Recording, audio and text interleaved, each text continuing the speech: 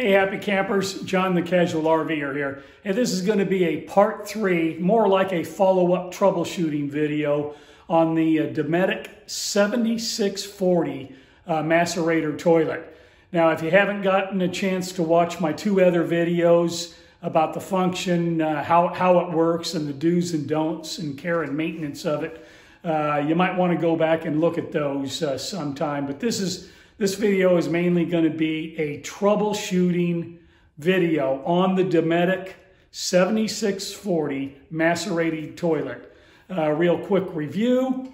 I'm going to review, I call this my cast of characters. It's uh, the, the main components of the Dometic 7640 macerator toilet. Uh, by the way, they're all brand new.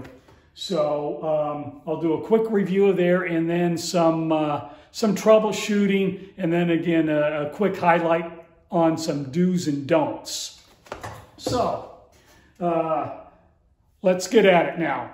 Uh, in uh, 2019, mid 2019, uh, the Rev Group, which is uh, Fleetwood Holiday Rambler, uh, they went in on their some of their base models up to their Discovery lineup Two, they got rid of the vacuum flush uh, toilets and went to the macerator toilets. And I'm sure anybody that has or have had the vacuum flush system has kind of known their, uh, their problems and quirks and stuff like that. So this uh, Dometic, uh, it's called the Master Flush Series 7640.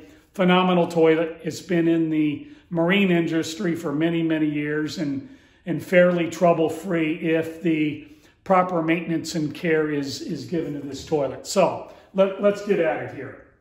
There again, it's a, uh, a porcelain bowl, really nice, um, kind of a composite uh, toilet seat and lid.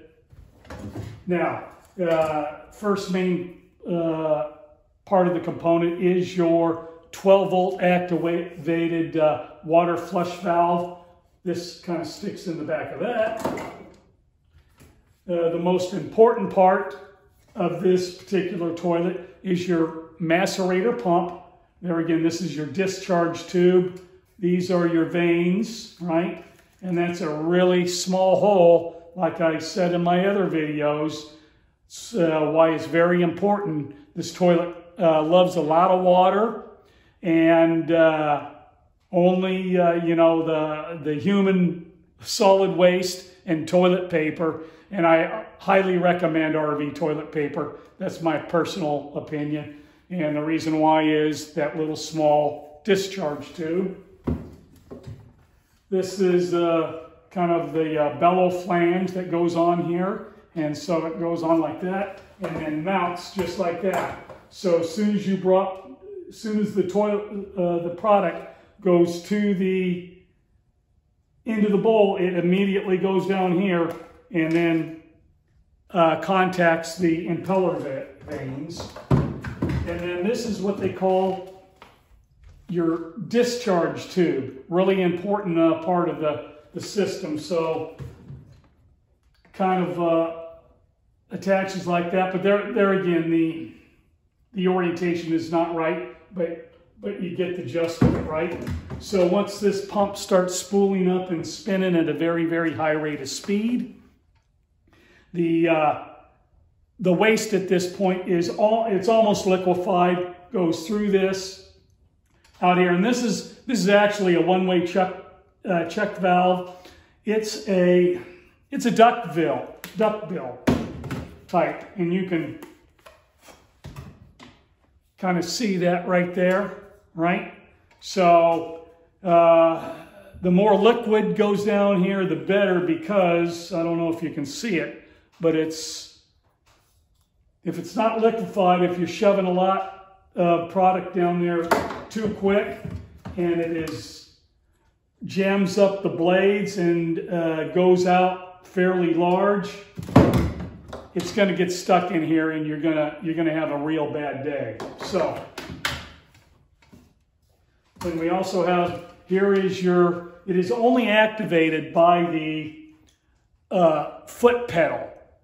So you have a control board, which right here, 12 volt operated. And uh, there again, there's a butterfly valve right here, contact valve, two contacts right here, and which, depending on which flush mode you have set the toilet to, there again, you can set it what they call a dry bowl flush, which is 0.21 of a gallon, or the regular uh, flush, which is uh, 0.83 of a gallon. And there again, on my last video, I highlighted it, how to, re to program your flush modes. You want to hold the pedal down all the way to the floor for 10 seconds, and that will go either into the dry bowl flush or bring it back to the regular flush mode. So, uh, with this particular unit, and especially if you have the um, Precision Circuits touch panel, you have another part of this whole system. There, excuse me, there is a float level sensor that's in the black tank, and it's a single float that goes up and down. So what happens is uh, once your black tank fills up to uh, just over three quarters of a tank, that sensor is going to come up and shut the system down via this yellow sensor wire. This sensor wire, uh, if you have one or two macerator toilets, each toilet is going to have this. So that sensor will send a signal to this yellow sensor uh, wire and stop the toilets from flushing. Now there again, uh, that float level sensor and the precision tank pa panel need to be reset every once in a while. And I've heard of, you know, complaints of the sensors aren't very accurate. There again, they're a sonic uh, sensor that are on the um, outside of the uh, black and gray tanks, they're stuck on there. They're not the through tank probe type sensors. So they're not, uh, they're not going to get any scum or any uh, waste on them. Um, but historically, yeah, they're, they're, they're inaccurate also.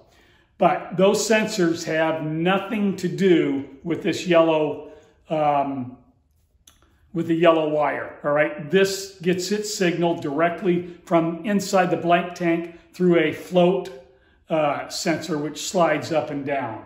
So if you happen to have that problem where all of a sudden you've uh, can no longer flush the toilets, I first recommend dump and flush the, the black tank.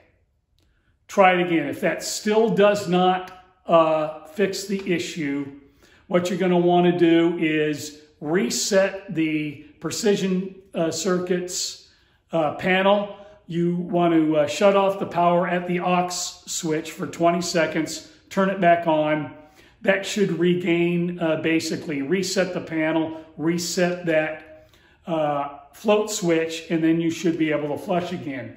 If that still does not return the toilets back, toilet or toilets back to flush mode, then you're going to want to disconnect this yellow uh, sensor wire. And the best way to do that is there's two um, covers on the uh, on the toilet itself, on the base of the toilet.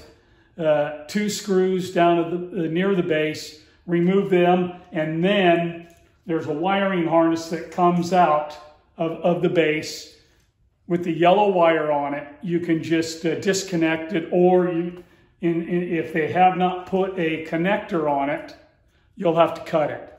So uh, hopefully that kind of uh, clears up some of the issues with this toilet. There again, I don't, I don't recommend uh, uh, drop-in or pods in this toilet because if you flush it immediately without those drop-ins or pods being 100% dissolved,